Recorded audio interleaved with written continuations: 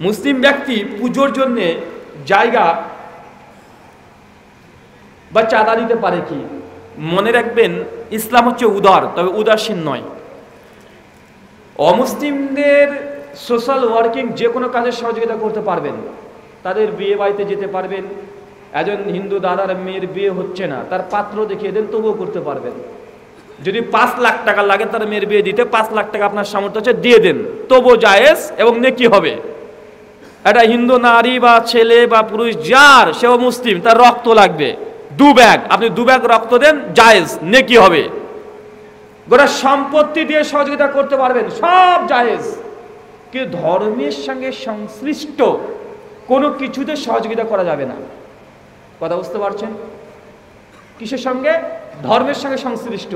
ওনারা পুজো করবেন, পুজো করতে দেন, বাধা দেওয়া যাবে না। লাকুন দিন কুম আলিয়া দিন। পুজোকে জোর করে ভেঙে দেওয়া এটা হারাম, স্পষ্ট। যারা মনে হচ্ছে পুজোকে ভেঙে দিলে আমি একদম বড় মুজাহিদ হয়ে গেছি, এটা হারাম, করা যাবে না। যখন ইসলামিক খিলাফত আসবে, রাষ্ট্র যদি চান, ভেঙে দেবে, রাষ্ট্র পারে। কোনো ব্যক্তি পর্যায়ে কোনো মন্দিরে হামলা করা যায় নয়, এটা হারাম। কিন্তু বাংলাদেশের দুর্ভাগ্যজনক ভাবে হলেও সত্য মিথ্যা খবর যাই হোক না কেন, কিছু কিছু নিউজে দেখা যায় যায় কি যায় না, কথা বলেন? যাবে না। এগুলো করা হারাম। তাদের ধর্ম তারা পালন করতে দেন ধর্ম পালন করার সর্বাধিক অধিকার তাদের থাকবে। ধর্ম পালনে বাধা দিতে পারবেন না। কিন্তু তাকে সহযোগিতাও করতে পারবেন না। কি বললাম? কথা বলেন? যে আপনি জমি দিবেন, পারবেন না। নিষেধ, হারাম। করলে শির্ক হবে।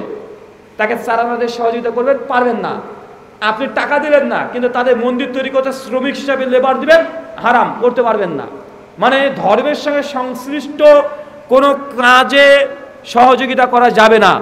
দুনিয়াবি যে কোনো কাজে সহযোগিতা করেন যার রক্ত দিয়ে দেন জায়জ হয়ে যাবে।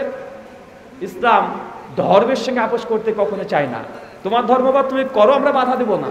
কিন্তু তোমাকে ধর্মের জন্য সহযোগিতা করতে পারব না। এটা তাদেরকে বলতে হবে বুঝাতে হবে। শুক্রিয়া জাজাকাল্লাহ খায়রান। যে ইমাম গুল বা জর্দা দিয়ে পান পান খায় তার পিছনে সালাম হবে কি? যে ইমাম গুল বা জর্দা দিয়ে পান খায় তার পেছনে নামাজ হবে কি? হবে। যারা বিড়ি খায়, যারা গুল খায়, যারা জর্দা খায়, তারা পড়বে। কথা বুঝতে পারলেন না? যারা মদ খায়, তারা পড়বে। বিড়ি খোরের পেছনে মদ খোররা নামাজ পড়বে। আপনাদের সমস্যা আছে? আর কারও সমস্যা আছে? যে জর্দা খায়, তার পেছনে কে পড়বে? যে ইয়াবা খায়, সে পড়বে। যেমন মাতাল ইমাম, মাতাল মুসল্লি। একজন যে হুজুর, আমাদের মসজিদে আমাদের মসজিদের শুধু ইমাম সাহেব জুমাতে মসজিদে আসে। তো তার পেছনে নামাজ হবে? আমি বলছি হ্যাঁ হবে। যা শুধু শুকুর মুন্সি তারাই নামাজ পড়বে। অনেক মুসল্লি আছে শুধু শুক্রবারে নামাজ পড়ে, আছে না নাই? কথা বলেন। তো যে শুধু জুমাতে আসে জুমা, শুক্রবারে মুসল্লিরা নামাজ পড়বে। মূল কথা, কোনো ইমাম যদি জর্দা তর্দা খায়, সে ব্যক্তি হারাম খাচ্ছে। হারাম করে পেছনে নামাজ হারাম নয়। নামাজ জায়েজ। পড়লে আপনার নামাজে কোনো ক্ষতি হবে না। সুরা ফাতির আয়াত নাম্বার পনেরো, সুরা বানিসের আয়াত নাম্বার পনেরো। আল্লাহ একের পাপের বোঝা আর একজন উপরে বাড়তিয়ে দেয় না। বাপ পাপ করলে বাপই গোনাগার ছেলে গোনাগার না। তাই ইমাম যদি গোনা করে, মুসল্লির উপরে এই গোনা আসবে না। তবে ইমাম নিযুক্ত করবেন সব সবচেয়ে তাকওয়াবান। যদি না পান, তাকওয়াবান কেউ নেই, সবগুলো কেউ জর্দা খায়, কেউ গুল খায়। এখন কি করবেন? নাই মাচ্ছে কানা মামা ভালো। কানাকে মামা বলে মামা বলে শান্তি নেন। আসসালামু আলাইকুম। আসসালামু আলাইকুম। এক ব্যক্তি মাজার বানিয়ে টাকা তোলে এটা কি শিরিক? শিরিক কি না? এক ব্যক্তি মাজার করেছে দিয়ে টাকা তোলে এটা শিরিক হবে কি হবে না? বাবা মাজারের নামে যা হবে সবগুলো শিরিক। বাষট্টি আল্লাহ বলছে ইন্না সলাতি ও নুসুকি ও মাহিয়া মামাতি লিল্লাহি রব্বিল আলামিন। নিশ্চয় আমার সলাত আমার নামাজ আমার কুরবানি আমার জীবন আমার মরণ সব আল্লাহর জন্য। তুই পীরের নামে যে সারানা দান করো এটাও শিরিক। এক ভাই প্রশ্ন করেছেন, জেনারেল ছাত্র কি ছেলেদের নিয়ে মেসেঞ্জারে গ্রুপ গ্রুপে দিন প্রচার করতে পারবে? জেনারেল ছাত্ররা কি মেসেঞ্জার হোক বা হোয়াটসঅ্যাপের মধ্যে গ্রুপ বানিয়ে দিন প্রচার করতে পারবে? দিন প্রচার বলতে কি বোঝাচ্ছেন আগে দেখতে হবে। প্রথম কথা, যে ছেলেরা যদি ছেলেদের গ্রুপ করে, আর জাস্ট তারা এমন কিছু হাদিস তারা শেয়ার করছে কোনো আয়াত শেয়ার করছে, ঠিক আছে, সমস্যা নেই। বা গ্রহণযোগ্য কোনো আলেমের কোনো বক্তৃতা শেয়ার করছে, কোনো সমস্যা নেই। গ্রহণযোগ্য কোনো আলেমের যদি বইয়ের কোনো একটা পৃষ্ঠাকে ছবি তুলে সেন্ড করছে, কোনো সমস্যা নেই। নিজেদের তরফ থেকে নতুন কিছু লেখালেখি চেষ্টা না করাটাই ভালো। আর যদি করেও থাকেন তাদের আলেমকে দিয়ে সার্টিফাই করে নেবেন যে এটা ঠিক আছে কিনা। কথা বুঝতে পারছেন? যদি করতে পারেন, তাহলে জায়েজ। শুক্রিয়া। আসসালামু আলাইকুম। প্রশ্ন করেছেন, মহিলাদেরকে একত্রে বাড়ির মধ্যে কোনো হুজুর দিয়ে যাবে কি? বাড়ির মধ্যে দশজন মেয়ে আর একজন হুজুর। এখন কোরআন শেখানো যাবে কি যাবে না? সই বুখারি, হাদিস না নিরানব্বই এবং একশো। আল্লাহ নবীর কাছে মেয়ের এসে বলছে, আল্লাহ নবী, ছেলে মানুষরা সব কোরআন হাদিস জেনে নিল। ওরা তা আগে জানাতে চলে যাবে। তা আমাদেরকে ব্যবস্থা করা যায় না যে আমরা কিছু ইসলাম শিখব আল্লাহ নবী তখন তাদের জন্য একটা ব্যবস্থা করে দিলেন। আল্লাহ নবী নিজেই পর্দার অন্তরাল থেকে মেয়েদেরকে তখন তিনি প্রশ্ন উত্তর দেওয়া নেওয়া ইসলাম শিখাতেন। অতএব এই হাদিস প্রমাণ করে যে মেয়েরা যদি একসঙ্গে জামাত সহকারে বাড়িতে আসে, তাহলে অবশ্যই একজন হুজুর, সে যদি চায় শেখাতে পারে, তো পর্দার অন্তরাল থেকে। কথা বুঝতে পারছেন? আর এক্ষেত্রে আমি পরামর্শ দেবো হুজুরকে। হুজুর যদি তার বউকে নিয়ে যায় সঙ্গে। কথা বুঝতে পারলেন না পর্দার মধ্যে থাকলে সমস্যা নেই। বউ যদি থাকে, হুজুর এদিক ওদিক তাকাতেও পারবে না। পারবে কথা বলেন? মানে যদি হান্ড্রেড পার্সেন্ট নাও থাকে, যদি বউ যদি সঙ্গে থাকে, একশো জন মেয়ে কেন? একটা মেয়ে আসলে হুজুর তাকানোর সাহস পাবে না। পাবে কথা বলেন? আজরাইল ফেরেস্তা যদি আসে হুজুরের সামনে বা যে কোনো মানুষের সামনে সামনে মেয়ে যদি থাকে, তাহলে তাকিয়ে ফেলতে পারে, কিন্তু বউ থাকলে তাকাবে না। তাকাবে? তাই সাবধান, সতর্কতা অবলম্বন করবে। শুক্রিয়া। দ্বিতীয় প্রশ্ন মহিলা সম্মিলিত সম্মিলিত হয়ে তাবলিগ করতে পারবে কি? মেয়েরা মেয়েরা তাবলিক করতে পারবে কি? মেয়েরা নিজের বাড়িতে তাবলিক করতে পারবে ছেলের কাছে মেয়ের কাছে স্বামীর কাছে করতে পারবে। এখন আপনি যদি বলেন তাবলিক করার অর্থ হচ্ছে এইটা যে এই গ্রাম থেকে আমি দিনাজপুরে চলে যাব পঞ্চগ্রামে চলে যাব এই তাবলিক কি? এই তাবলিক যদি হয় কিছু শর্ত আছে। এক আপনি আপনার পরিবারের হক আগে আদায় করতে হবে। মানে আপনার ছেলে এবং স্বামীর হক আদায় না করে আপনি তাবলিক করতে চলে গেছেন একদম দিনাজপুর, আপনার জন্য হারাম। এক। দুই, যেইখানে দিন প্রচার করবেন, ওই জায়গাটা পুরোটা ঘেরা থাকতে হবে, আপনার চারকে যেন না দেখতে পায়। তিন, যেইখানে বসে প্রোগ্রাম করবেন, ওই শব্দ ওই আওয়াজ যেন বাইরের কোনো মানুষের কানে না যায়, ওর মধ্যে সীমাবদ্ধ থাকতে হবে। চার, যখন আপনি কথা বলবেন, ওই সময় সামনে যেন কোনো পুরুষ মানুষ বসে না থাকে। কথা বুঝতে পারছেন? সবচেয়ে মূল কথা, যে মহিলা তাবলিক করবে তার কোরআন এবং হাদিসের জ্ঞান থাকা লাগবে। নচেত গিয়ে বলবে, বুবু, ভোট দাও জান্নাত যাবা। আচ্ছা না কথা বলেন। ভোট দাও, বুবু, জান্নাত যাব। ওকে ভোট দাও পাকাকে ভোট দাও, জান্নাত চলে যাবে। পীর সাহেব বলেছে যে, আমাদেরকে ভোট দিলে নবী ভোট পাই বুবু। ভোট দাও, জান্নাত পেয়ে যাবা। বা আছে না কথা বলেন?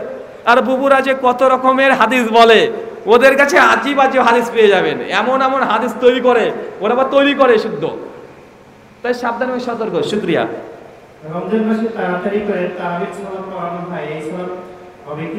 রমাদান মাসে দ্রুত তারাবি সালাত আদায় করে এই সালাত কবুল হবে কি হবে না? বা তারাবি এসেছে আরবি শব্দ তারবি হাতুন থেকে। তারবি হাতুন মানে থেমে থেমে বিরতি দিয়ে পড়া। আর বাঙালিরা বুঝেন যে তারাবি মানে তাড়াতাড়ি পড়া। যত তাড়াতাড়ি পড়বে, তত বেশি তারাবি ভালো। বা আছে না ভাই কথা বলেন? ওই হুজুর এশার নামাজ পড়ে, ফরজ নামাজ ধীরে ধীরেই পড়ে। আছে না ভাইজান? বিতের পড়ছে ধীরে ধীরে, তারাবি হলে আল্লাহু আকবার, আলহামদুলিল্লাহ মানে মানে কিন্তু আগানে মানে আল্লাহ আকবার সামি আল্লাহু লিমান হামিদা, আল্লাহু আকবার, লা ইলাহা আসসালামু আলাইকুম আসসালামু আলাইকুম আল্লাহুম্মা আমিন বিহাকে লা ইলাহা ইল্লাল্লাহ। আল্লাহু আকবার। ঝড়ের গতিতে পড়ছে, আছে না নাই কথা বলেন? মানে তারাবি মানে ঝড়ের গতিতে মারতে হবে। মুসল্লিও রেডি হুজুর যখন তারাবি নিয়াত করুন আর লুঙ্গি টুঙ্গি বেঁধে রেডি মানে একদম এখন খেলতে হবে, দুমদাম। মানে সময় নাই এখন। হাতে টাইম নাই। লুঙ্গি বাঁধারও টাইম থাকবে না, বেঁধে রেডি আর সাঁসার বয়সে যারা আছে, ওরা ভয়ে বিপদে পড়ে যায়। কেন হুজুর একদম ফাইভ জি গতিতে পড়ছে? হুজুর রুকু করেছে, সিজদায় গিয়েছে চাষা রুকু থেকে উঠছে। কি আবার কি হচ্ছে এখন? মানে ওর মতন চাচাটা দ্রুত পড়তে পারবে না। পারবে, কথা বলেন? হুজুরে আত্মায়াতু বলেছে দুরুদ পড়েছে, মাসরা পড়ছে। আসসালামু আলাইকুম রহমতুল্লাহ বলছে, আর চাচার দুরুদই শেষ হয়নি। কদ আফলাহাল মুমিনুন আল্লাযীনা হুম ফি সলাতিহিম খাশিউন। ওই সমস্ত মুমিনরাই সফল কাম যা নামাজের মধ্যে খুশি খুজু ইখতিয়ার করে মানে ধীর স্থিরভাবে নামাজ পড়ে এরা হচ্ছে সফল কাম। সূরা মুমিনুন আয়াত নম্বর এক দুই তিন। তাই ঝড়ের গতিতে নামাজ বিশ টাকাত কেন? দুই হাজার টাকাত পড়লেও আল্লাহ কবুল করবে না ঝুলে থাকবে মসজিদের ছাদে। জানাজার নামাজের পরে সম্মিলিত মোনাজাত করা যাবে কি? এই মনে কোনো দলিল নেই। জানাজার পরে মোনাজাত করার কোনো দলিল নেই। জানাজার পরে দোয়া আছে। ওই দোয়াটা আপনি নিজে নিজে একা একা করবেন হাত না তুলে। আহ্লাদের সমাজে একটা জিনিস লক্ষ্য করা যায়, দোয়া নাই এই কারণে মাটি দিয়ে সবাই উঠে চলে আসে। আচ্ছা না না, কথা বলেন। মাটি দিয়ে কবরস্থানে থাকে না। না, এটা সুন্নাতের খিলাফ। সুনান আবু দাউদ কিতাব জানাইস হাদিস না তিন হাজার দুইশো একুশ। আল্লাহ নবী বলছেন ইস্তাগফিরুল্লি আকিকুম তুমি তোমার মৃত ভাইয়ের জন্য দোয়া করো। আর কোনো ব্যক্তি যদি জানাজাতে উপস্থিত হয়, এক নেকি, আর শেষ মধ্যে থাকলে দুই নেকি। মানে জানাজা হওয়ার পরে, মাটি দেওয়ার পরে আপনি আপনার ভাইয়ের জন্য অপেক্ষা করবেন। আল্লাহ নবী দাঁড়িয়ে থাকতে বলেছে, ভাইয়ের জন্য ক্ষমা প্রার্থনা করে, দাঁড়াও। ওখানে বসে দাঁড়িয়ে থেকে এক একা হাত না তুলে দোয়া করতে হবে। কতক্ষণ? যতক্ষণ না জানাজার সমস্ত কাজ কমপ্লিট হচ্ছে, মাটি দেওয়া হয়ে গেছে রেডি হয়ে গেছে, সবাই একসঙ্গে আপনারা বেরোবেন কথা বুঝতে পারছেন? যার জরুরি কাজ আছে চলে আসতে পারে। কিন্তু এটাও শোনাতার কি মাটি দিয়ে চলে আসছে সরাসরি। আর কেউ পড়ে নেই। এটা নয়, ওখানে পাশে দাঁড়াবেন, দোয়া করবেন। তবে হ্যাঁ আজকে দাফন করলেন, দাফন করার সঙ্গে সঙ্গে দুই হাত তুলে দোয়া নেই। তবে যখন কবর জিয়ারত করতে যাবেন, তখন দুই হাত তুলে দোয়া আছে। সেটা হবে একা একা। কি বললাম কথা বলেন আপনার বাবাকে আপনি কবর দিয়ে চলে আসলেন তারপরের দিন দেখতে যাচ্ছেন, জিয়ারত করতে যাচ্ছেন। একা একা দুই হাত দোয়া করতে পারবেন এটা সুন্না দ্বারা প্রমাণিত। সেই মুসলিম দুশো তেরো পৃষ্ঠে আল্লাহ নবী গভীর রাত্রিতে গেলেন, কবরস্থানে দুই হাত তুলে তিনবার দোয়া করলেন। এটা কিসের দোয়া ছিল? এটা দাফন করার পরে দোয়া না, এটা জিয়ারতের দোয়া। কথা বুঝতে পারছেন? তাই কবর জিয়ারত করতে গিয়ে একা একে দুই হাত তুলে দোয়া করা জায়েজ এবং সুন্নাত দাফন করার পরে দুই হাত তুলে দোয়া করা জায়েজ নয়, বরং নিজ ভাষাতে যা ইচ্ছা তাই দোয়া করবেন। কথা বুঝতে পারছেন? শুক্রিয়া। মুসলিম ব্যক্তি পূজার জন্য জায়গা কিংবা চাঁদা দিতে পারে কি? বাকিতে বিক্রয় করা অধিক মুনাফা লোভে বেশি অর্থ নেওয়া জায়জ হবে কি? বিশেষ ঘোষণা আমার লেখা বেশ কিছু বই এসেছে এখানে নতুন চারটে বই এসেছে। এর আগে আপনারা বই নিয়ে গেছিলেন এখন নতুন চারটে বই একটা ফিতরা প্রসঙ্গে খুব গুরুত্বপূর্ণ বই। কেন বাংলাদেশে আহ্লাদ সমাজে দেখা যায় মানুষ ফিতরার টাকা দিয়ে দেয়। আছে না না কথা বলেন। তাই টাকা দিয়ে ফিতরা দেওয়া জায়েজ নয়। আপনাকে ফিতরা খাদ্য দিয়ে দিতে হবে। ফিতরা কাকে দেবেন? মাদ্রাসাকে দিতে পারবেন কি পারবেন না? ফিতরা পার হকদার কারা? ফিতরা কাকে কাকে দেওয়া যায়? কোন সময় ফিতরা দিতে হবে? ফিতরার উপরে প্রায় পঞ্চাশ খানা মাসালা এবং টাকা দিয়ে ফিতরা যারা বলতে দিতে হবে তাদের দলিলকে তাহাকে জবাব দিয়ে বইটা রচনা করা হয়েছে। আর একটা বই আছে, মহিলারা মসজিদে গিয়ে কি নামাজ পড়তে পারবে? এবং মেয়েদের প্রসঙ্গে দশের বিশ্বের অধিক প্রশ্নোত্তর দিয়ে একটা বই লেখা আছে, নারীদের মসজিদ গমন। আর একটা বই আছে, হাত কোথায় বাঁধবেন? নাবের নিচে না বুকের ওপরে? এটা নিয়ে ঝামেলা আছে না নাই? আছে। আর একটা হিন্দু দাদাদের জন্য বই রচনা করা হয়েছে, ইসলাম আদর্শ না কলঙ্ক? মানে আমাদের ভারতের একজন হিন্দু পণ্ডিত তিনি ইসলামের বিরুদ্ধে বই লিখেছিলেন। বইয়ের নাম দিয়েছেন, ইসলামের কলঙ্কিত কথা। ওই বইয়ে ইসলামকে বলেছে কলঙ্ক মানে ইসলাম ভালো না। তো একটা বই লিখেছিল, ওই বইটার পাল্টা আমি জবাব দিয়েছি। যে বইয়ের নাম রেখেছে, আমার বইটার নাম ইসলাম আদর্শ না কলঙ্ক। এবং ওই বইয়ে যতগুলো হিন্দু দাদারা অভিযোগ করেছিল, সবগুলোকে খণ্ডন করা হয়েছে। যেটা অভিযোগ করেছিল, তোমাদের নবী নয় বছরের মেয়েকে বিয়ে করেছে। আরে কমন অভিযোগ, আছে না নাই? কথা বলেন। তো আমি আর বই জবাব দিয়েছি যে, হিন্দু দাদা, তোমাদের ভগবান শ্রীকৃষ্ণ, উনিও রুকমণিকে যখন বিয়ে করে, তখন রুকমণি বয়স ছিল আট বছর। আমার নবী নয় বছরের মেয়ে, তোমার ভগবান যে আট বছরের মেয়েকে? দেখুন, শিব যখন পার্বতী মানে দুর্গাকে বিয়ে করছে, দুর্গা তখন বয়স ছিল ছয়। শিবপুরাণ রুদ্র সংহিতা পঁচাত্তর অধ্যায়ে আছে। যখন রামচন্দ্র সীতাকে বিবাহ করে, সেই সীতার বয়স ছিল ছয়। রামায়ণ একদম প্রথম স্বর্গেই এই ঘটনা মজুদ আছে। আমি সবগুলো তথ্য, দলিল, প্রমাণ, আমি স্ক্রিনশট দিয়ে দিয়েছি তাদের ধর্মগ্রন্থের। আমি যখন বইটা রচনা করি তার ছাপান্নখানা অভিযোগের সব জবাব আছে। ওই ইসলাম আদর্শ কলঙ্ক বইটাতে মানে এখানে হিন্দু দাদারা ইসলামের প্রতি যে অভিযোগগুলো করে তার সবগুলো আলহামদুলিল্লাহ দলিল ভিত্তিক জবাব দেওয়া আছে। বইগুলো নিয়ে যেতে পারেন। জি শেখ কি একটা প্রশ্ন করেছিলেন?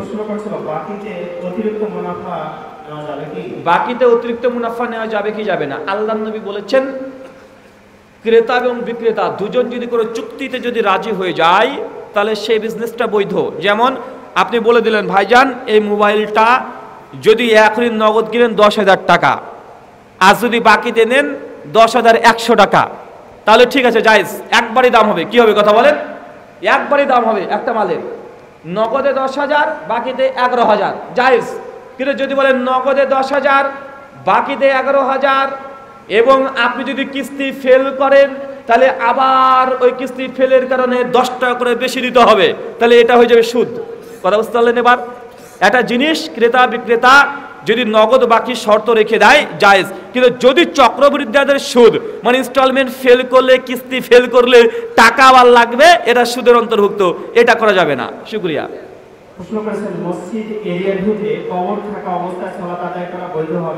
মসজিদের ভেতরে কবর থাকলে সালাত হবে কি হবে না? মসজিদের ডানে বায়ে ভেতরে কোনো জায়গায় যদি মসজিদের মধ্যে যদি হয় আন্ডারগ্রাউন্ডে হয় তাহলে নামাজ হবে না। আল্লাহ নিয়ে বলেছেন সুনান তিরমিজির একাধিক হাদিস, তোমরা কবরস্থানে নামাজ পড়িও না।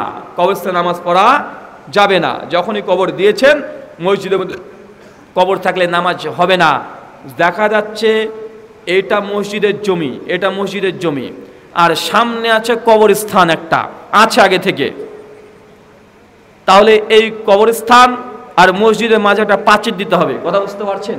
পাঁচিরে ভাগ করে দিতে হবে যদি ভাগ না করেন নামাজ হবে না শুক্রিয়া। আমার আর্থিক অবস্থার কারণে মানে আর্থিক সংকটের কারণে এনজিওর কাছ থেকে লোন নেই। আমার লোন পরিশোধ হতে দীর্ঘদিন যাবত সময় লাগতেছে। আমি কি তবা করলে মাফ হবে? প্রতিদিন তৌবা করেন ভুল করেছেন অন্যায় করেছেন গোনা হচ্ছে। আর যে তৌবা চান ক্ষমা চান ইনশাল্লাহ আল্লাহ তাআলা ক্ষমা করবেন। সূরা বাকারা আয়াত নাম্বার দুশো পঁচাত্তর আল্লাহ বলেছেন, তোমরা যারা সুদ নিয়েছো, তোমাদের বকেয়াকে শোধ করে দাও। মানে বকেয়া শোধ করার জন্য আল্লাহ সুমান তালা আপনাকে সময় দিয়েছে। যত তাড়াতাড়ি পারেন, শোধ করে দেন। আর তোবা করতে থাকেন ইনশাল্লাহ আল্লাহ আপনাকে ক্ষমা করবে।